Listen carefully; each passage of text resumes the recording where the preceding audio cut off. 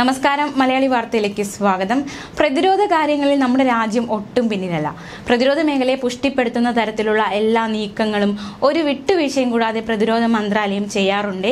ഇപ്പോൾ ഇതാ പ്രതിരോധ മേഖലയെ പുഷ്ടിപ്പെടുത്തുന്ന തരത്തിലുള്ള ഒരു റിപ്പോർട്ടാണ് പുറത്തു വരുന്നത്.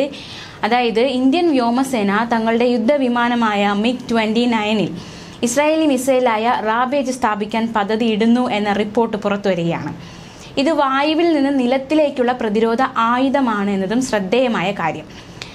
നേരത്തെ ഇന്ത്യൻ നാവികസേനയുടെ മിഗ് ട്വന്റി നയൻ കെ യുദ്ധവിമാനങ്ങളിൽ ഇവ സ്ഥാപിച്ചിരുന്നതാണ് എന്നതും ശ്രദ്ധേയമാണ്.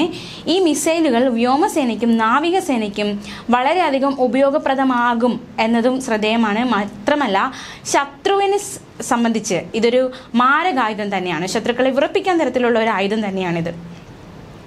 ഇസ്രായേലി എയറോസ്പേസ് ഇൻഡസ്ട്രീസ് ആണ് ഈ ഒരു മിസൈൽ നിർമ്മിച്ചിരിക്കുന്നത്. ഏത് കാലാവസ്ഥയിലും ശത്രുവിനുമേൽ നാശം വിതയ്ക്കാൻ ഈ മിസൈലിന് സാധിക്കും എന്നാണ് ഈ കമ്പനി അധികൃതർ അവകാശപ്പെടുന്നത്.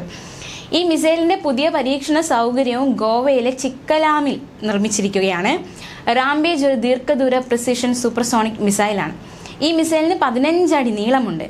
അഞ്ഞൂറ്റി എഴുപത് കിലോയാണ് ഇതിന്റെ തൂക്കം. ഇറാന് എസ് ത്രീ ഹൺഡ്രഡ് പ്രതിരോധ സംവിധാനമുണ്ട്. ആ സംവിധാനത്തോട് പ്രതികരിക്കുന്നതിനായി സൃഷ്ടിച്ച ജി പി എസ് ഗൈഡഡ് മിസൈലാണ് ഇത് എന്നതും വളരെ നിർണായകമാണ്. റാബേജ് മിസൈലിന്റെ വേഗത വളരെ കൂടുതലാണ്. അതുകൊണ്ട് തന്നെ റഡാറിൽ ഇതിനെ കണ്ടെത്തിയാലും ശത്രുവിന് ഇത് തടയാൻ സാധിക്കില്ല എന്നത് മറ്റൊരു ഉറപ്പാണ്. അതായത് ശത്രുവിന് ഇന്റർസെപ്റ്റർ മിസൈൽ ഉപയോഗിച്ചും റാബേജ് മിസൈലുകളെ തകർക്കാൻ സാധിക്കില്ല എന്നർത്ഥം. ശത്രുവിന്റെ communication and commanded centre air force base maintenance centre അല്ലെങ്കിൽ അതിർത്തിക്കപ്പുറമുള്ള ഏത് തരത്തിലുള്ള കെട്ടിടവും അതിന്റെ യുദ്ധവിമാനം ഉപയോഗിച്ച് തകർക്കാൻ കഴിയുന്ന തരത്തിൽ ഇന്ത്യയ്ക്ക് റാബേജ് മിസൈലിന്റെ പ്രയോജനം കിട്ടുമെന്നതും ശ്രദ്ധേയം. ഉയർന്ന മൂല്യമുള്ള ഏതെങ്കിലും ലക്ഷ്യത്തെ നശിപ്പിക്കാൻ കൂടുതൽ സമയം ഇതെടുക്കുന്നില്ല ഏത് യുദ്ധവിമാനത്തിലും ഒരേ സമയം നാല് മിസൈലുകൾ സ്ഥാപിക്കാൻ സാധിക്കുമെന്നതും ശ്രദ്ധേയം. ജി പി എസ് അല്ലെങ്കിൽ ഐ എൻ എസ് ഗൈഡൻസ് നാവിഗേഷനും ആന്റി ജാമിംഗ് സാങ്കേതിക വിദ്യയും ഇതിൽ സജ്ജമാക്കിയിട്ടുണ്ട്. അതുകൊണ്ട് തന്നെ ഇത് നിർത്താനോ ദിശ മാറ്റാനോ സാധിക്കില്ല. ലക്ഷ്യത്തിലേക്ക് കൃത്യമായി വെടിവെക്കാൻ കഴിയും. അത് റാബേജ് മിസൈലിന്റെ മറ്റൊരു പ്രത്യേകതയാണ്. വേഗത സൂപ്പർസോണിക് ആണ്. അതും ഇതിന്റെ ഒരു സവിശേഷതയിൽ കൂടുകയാണ്. മാത്രമല്ല ഇത് സാധാരണ രീതിയിൽ വായുനില മിസൈലുകളുടെ വേഗത ഇങ്ങനെയൊന്നും ഇതിനെ ബാധിക്കുന്നില്ല എന്നത് മറ്റൊരു സവിശേഷതയാണ്. അതിന്റെ ആയുധത്തിൽ ബ്രാസ്റ്റ് ഫ്രാഗ്മെന്റേഷൻ സാങ്കേതിക വിദ്യ സ്ഥാപിക്കാൻ സാധിക്കുന്നതാണ്. അതായത് ഏതെങ്കിലും ബങ്കറോ ഉറപ്പുള്ള സ്ഥലമോ നശിപ്പിക്കാൻ കഴിയും. സെക്കൻഡിൽ മുന്നൂറ്റി അമ്പത് മുതൽ അഞ്ഞൂറ്റി അമ്പത് മീറ്റർ വരെ വേഗതയിൽ അത് ലക്ഷ്യസ്ഥാനത്ത് എത്തുന്നു എന്നതും മറ്റൊരു സവിശേഷതയാണ്. അതായത് മിനിറ്റിൽ ഇരുപത്തൊന്ന് മുതൽ മുപ്പത്തിമൂന്ന് കിലോമീറ്റർ വേഗതയിൽ ശത്രുവിന് നേരെ ഇത് നീങ്ങുന്നു. ഈ മിസൈലിന് പരമാവധി നാൽപ്പതിനായിരം അടി ഉയരത്തിൽ എത്താൻ സാധിക്കുമെന്നതും മറ്റൊരു സവിശേഷത. ഇതിന്റെ പരിധി നൂറ്റി അമ്പത് മുതൽ ഇരുന്നൂറ്റി അൻപത് കിലോമീറ്റർ വരെയാണ്.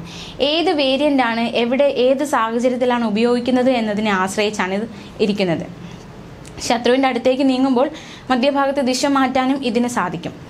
F fifteen F sixteen F or A eighteen E or F Euro fighter Typhoon Israeli Kfir Sukhoi Su thirty M K I യുദ്ധവിമാനം തുടങ്ങി ലോകത്തിലെ ഏറ്റവും ആഡംബര യുദ്ധവിമാനങ്ങളാണ് ഈ മിസൈൽ വിന്യസിച്ചിരിക്കുന്നത്. എന്നുവെച്ചാൽ ലോകത്തിലെ എല്ലാ വലിയ യുദ്ധ യുദ്ധവിമാനങ്ങളിലും ഈ മിസൈൽ വിന്യസിച്ചിരിക്കുന്നു എന്നതാണ് ആകെ കൂടി ഇതിനെപ്പറ്റി പറയാനുള്ളത്. എന്തായാലും നമ്മുടെ പ്രതിരോധ മേഖലയ്ക്ക് വളരെ ഒരു മുതൽക്കൂട്ടാകും ഇത് എന്നതിന് സംശയമില്ല. എന്തായാലും നമ്മുടെ പ്രതിരോധ മേഖലയെ ത്വരിതപ്പെടുത്തുക ശക്തിപ്പെടുത്തുക എന്ന കാര്യത്തിൽ നിന്ന് നമ്മുടെ പ്രതിരോധ രംഗം ഒട്ടും പിന്നിലല്ല എന്നതിന് ഒരു ഉദാഹരണം കൂടിയായി ഈ സംഭവം മാറിയിരിക്കുന്നു. ന്യൂസ് ഡെസ്ക് മലയാളി വാർത്ത.